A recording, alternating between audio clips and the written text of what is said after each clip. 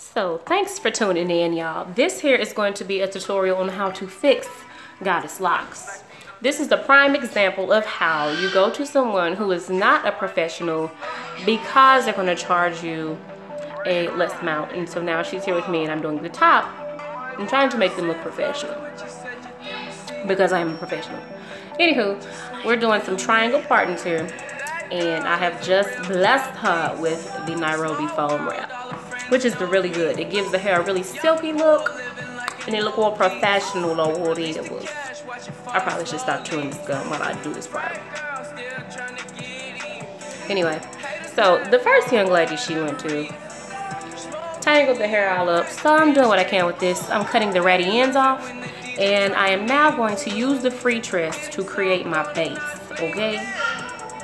And what you may want to do, depending on how long your Freetress is, is kind of bend the hair in a J shape. So one side is going to be shorter and the other side is going to be longer. This will help for the overall length of the Freetress to be longer. And you may need that depending on what length your client wants their goddess locks. So you start with a braid, I end in a twist. It's faster. It's faster.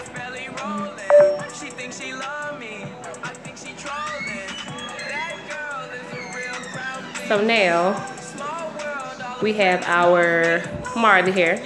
And once again, I'm cutting off this little ratty end. And I'm going to use the crochet method in order to start off the wrapping process. You just insert the crochet behind the base of the braid that you've already installed, hook it on, shoom shoom, pull it through. now you want to pull through one side.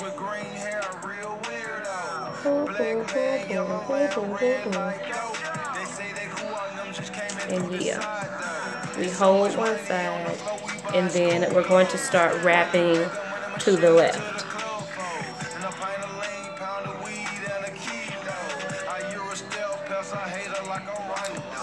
Yep, continue to the left and you want to make sure that you kind of wrap a little bit over your previous wrapping. Yeah, just like that. And you want to make sure that you are not creating a twist. This is a wrapping process. And you want to keep even tension. Like you can see, I'm holding my dread out at a 90 degree angle basically.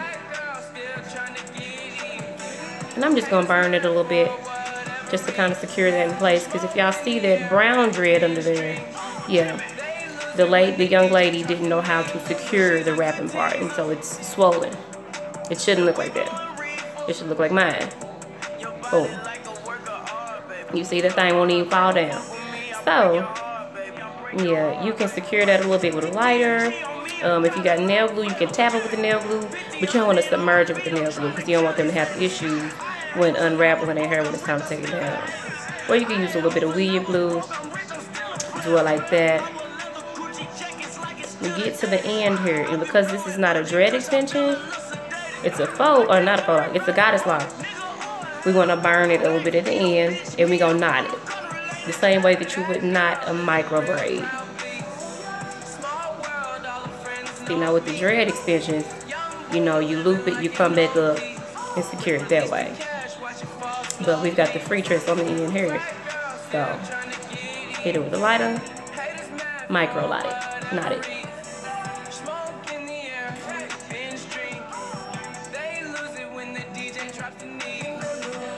Palm roll. Mm -hmm, finesse that just like that. And I'm gonna go ahead and trim down on this Freetress at an angle.